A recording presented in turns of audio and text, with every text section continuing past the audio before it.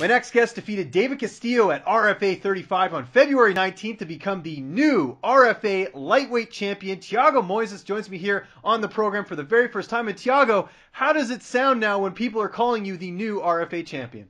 It sounds great. You know, uh, my second fight in the organization, and uh, uh, this is really good to be RFA champion. Definitely, and that's a nice belt you got there uh, that you're holding. And uh, you know, the, the, cool thing about this, uh, Thiago, is that you won it with a really nice submission here, a uh, second round arm lock. Uh, overall, were you satisfied with your performance in the fight? Yeah, I'm happy with uh, the victory, you know, but I'm not satisfied. You know, I have a lot of things I need to improve, you know, and I will be back working on these things and be a better fighter. How did you uh, celebrate after the win? Um, I'm going to Brazil now uh, and celebrate with my family, my friends, your friend. Yeah, that, that's great. Um, how, what does it mean to be so young and to already have a championship belt under your uh, under your under your resume? Uh, you know, uh, it's great. Uh, I'm still 20, but I have been working a lot and for a long time. I started jiu-jitsu when I was eight years old, and my first amateur MMA fight was when I was 15. So I have been doing this for for a while. That's awesome. Um, I'm sure you got a lot of uh, nice messages after the fight from fans and from family and friends. Uh, yes. what, what, was sort of the best message that you got after the fight?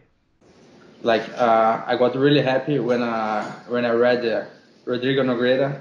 Uh, oh, cool. When he he he wrote the submission was awesome. You know, when I read that, I got really happy. You know. That, that was quite the compliment. Um, I'm sure you had to uh, be be strict on your diet uh, heading into the fight. What was the first meal you got to eat that uh, you know was like a cheat meal? Ice cream. Ice cream. What flavor? What flavor? I gotta know. Uh, ben Jerry strawberry cheesecake. Nice, nice. you do it up big. That's good. Um, now, as far as uh, you know, we're recording this on uh, February uh, 24th. So we're, you know, a couple days removed uh, from the fight. Uh, what does this past week look like in terms of training? Have you trained at all? Like, uh, I'm re- really happy, you know, with this, uh, with this title. Uh, I just trained Monday, and you know, I'll go home Friday to Brazil, and I'll be back training Monday. How, how long are you going to be in Brazil for? like one like one two two two three months. Oh, great. Okay, good. And uh, when would you like to get back in the cage?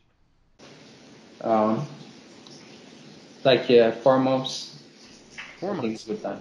Great. Yeah, de- definitely. No, no need to rush back in or anything like that. Um, is there anyone you have in mind as far as your next opponent? No, I'm I'm ready for who they they put in front of me. You know. And, and I talked a bit about it there on the top. Uh, you're only 20 years old. You have a seven in one record. Uh, how close do you think you are from going to a bigger organization like the UFC? I think I'm pretty close, you know.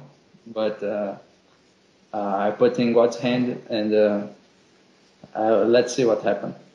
Who are some of your mentors in the sport? Like, who's someone that you look up to that you aspire to be like in your career? My career, uh, Minotauro. Okay he's one of the guys who I look for.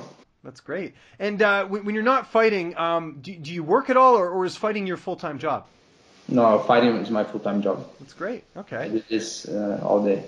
Now, when you're in Brazil, are you guy who likes to go to the beach? Do you like to play soccer? Like, what do you do to sort of relax and, and you know sort of uh, enjoy yourself?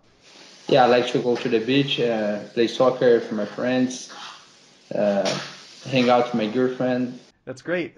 It must have been a big difference, uh, you know, fighting in Utah, where I'm sure it's really cold, uh, compared to Brazil. Yeah, it's really cold and uh, it was really dry. The right. weather. Yeah, the altitude. The, yeah. The altitude and the altitude I felt in the fight, you know. Did you? Yeah. I was I was holding back a little bit um, for this reason, you know.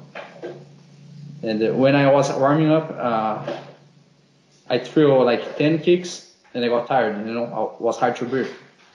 Oh, interesting. So I was, I was a little bit worried. Was that the first time you've ever fought in, in an elevated, uh, you know, cage? Yeah, the first time.